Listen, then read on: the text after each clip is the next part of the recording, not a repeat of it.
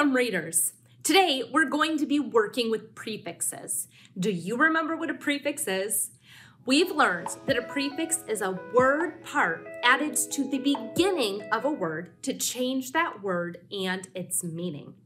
Our goal today is to read and understand words with the under and after prefixes.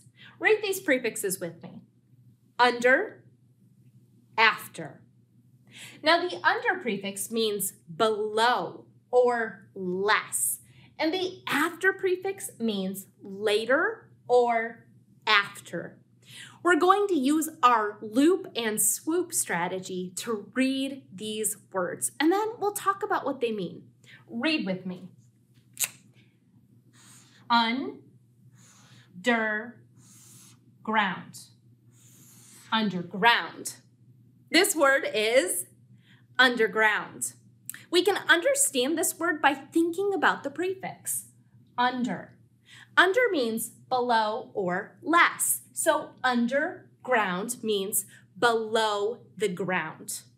While you might see some snakes burrowing underground, the northern water snake is more likely to be found swimming or warming itself on a rock. Let's put him right there. Now, let's try another word. Read this word with me. After effect. After effect. This word is after effect.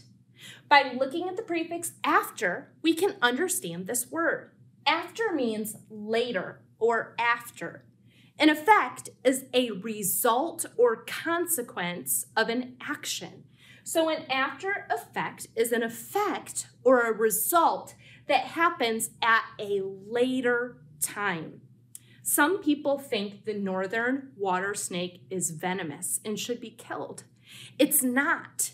One after effect of killing snakes is that larger animals that hunt them for food might go hungry. Let's try another word. Read with me. Under eat. Under eat. This word is under eat. Let's think about what it means using the prefix. Under can mean below or less. So under eat means to eat less than you should. Northern water snakes do not under eat they will eat insects and birds and mice and fish and frogs and leeches and turtles and even other snakes and more. They do not undereat. Let's read our last word together. Read with me. After thought. Afterthought. This word is afterthought. What does afterthought mean? Well, the after prefix means later or after. And thoughts are the things that we think. So an afterthought is something you think at a later time, maybe after something has already happened. As an afterthought, I should tell you that even though northern water snakes are not venomous, they do try to bite sometimes if you get too close. So it's good to give them space. Great work reading words with the prefixes under and after. Now, let's see if we can read words with these prefixes in a text.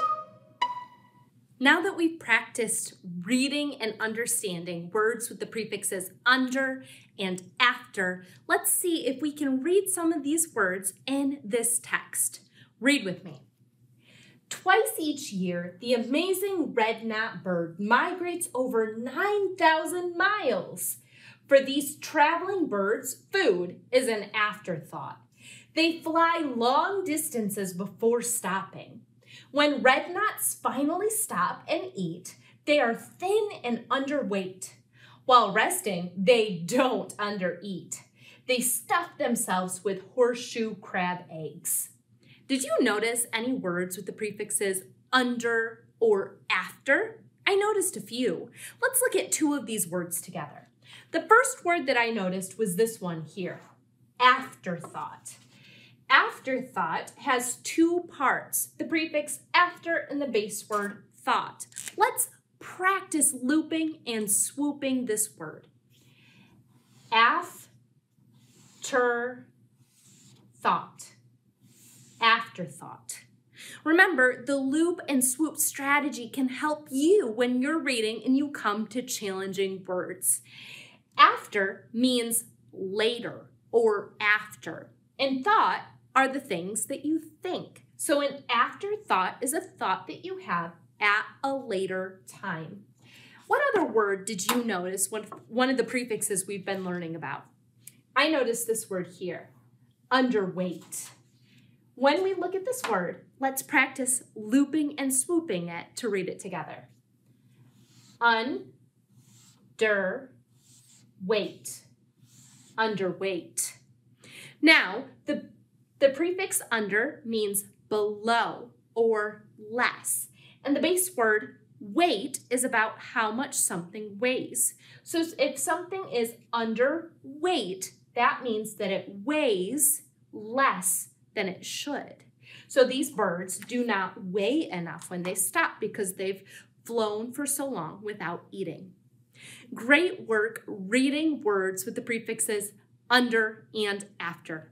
Now let's see if we can spell some of these words together.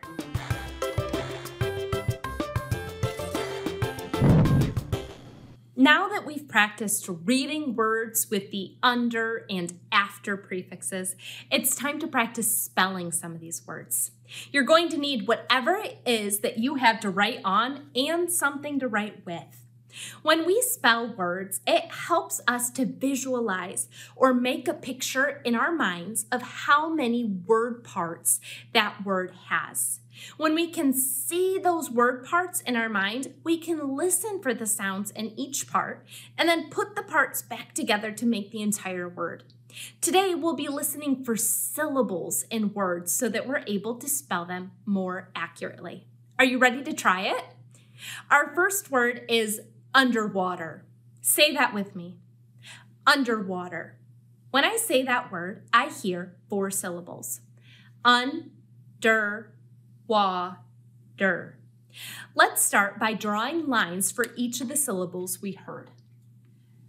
Under, wa, der. Now that we have these parts ready, we can start by matching the sounds that we hear with letters that we know. The first part is un. I hear two sounds in un. Uh, n. Let's write the letters that match those sounds. Un. We spell un, U, N. Now it's time to move on to the next part. Der, un, der. I hear three sounds in der. D, uh, er. Those second two sounds slide together. They're hard to separate, but there are three sounds in that word part.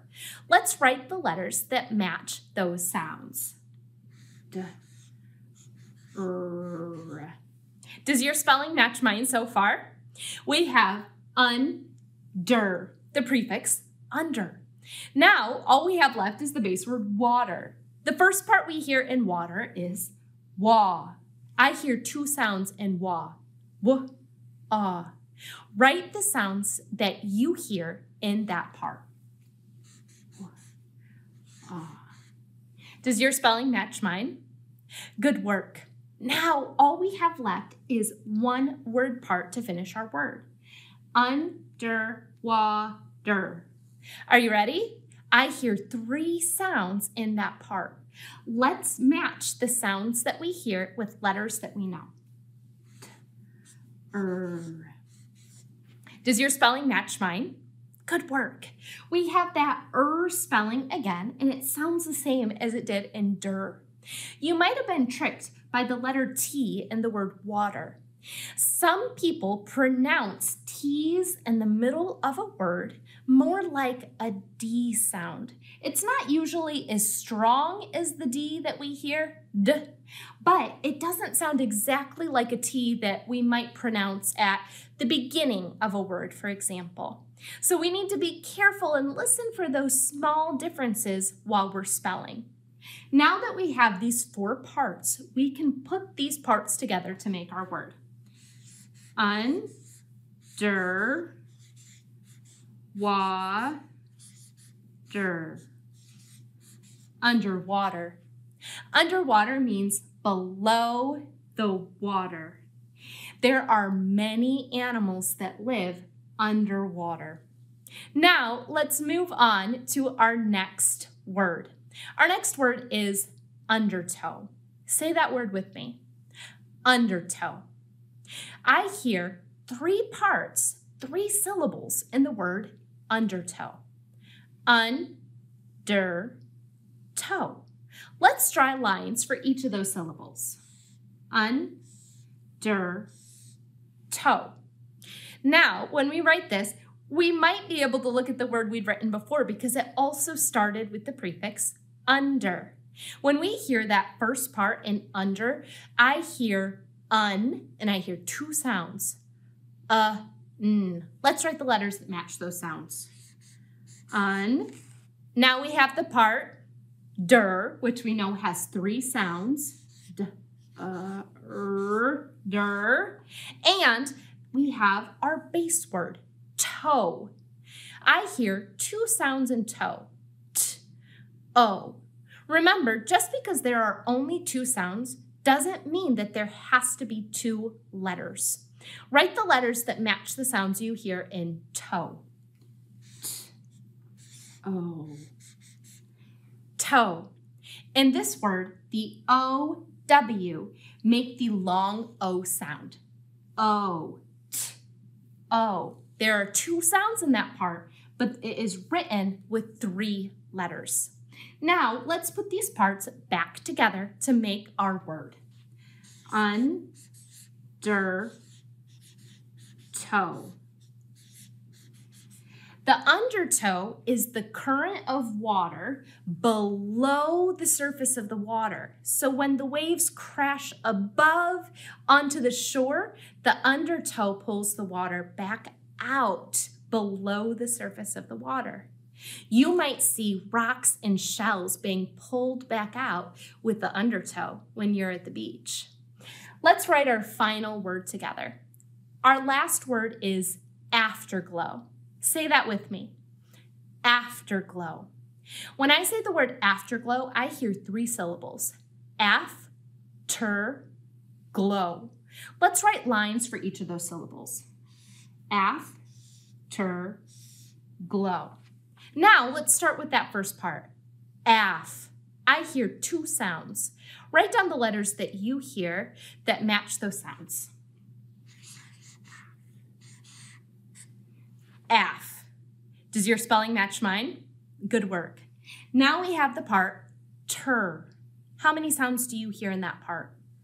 There are three sounds. Those second two sounds slide together to make the er sound, but we know that there are actually three sounds there. Let's spell that part. Er. After. Now we have the parts after, after. All that's left is the base word glow. I hear three sounds in glow. G, L, O. Remember again, just because there are three sounds doesn't mean there will be three letters. Let's write the word glow using letters that match the sounds we hear. G, L, O. Once again, we have the OW at the end of the word, making the long O sound. G, O. Good work. Let's put these parts together to make our word. After glow. We know that after means later or after. And glow is about light and shining. So the afterglow is the light and shine that we see after the sun has set. It's the glow that's left later than the sunset. If you're staying at the beach to watch the sunset, you should make sure you stick around for a bit to watch the afterglow. Great work writing words with the prefixes under and after.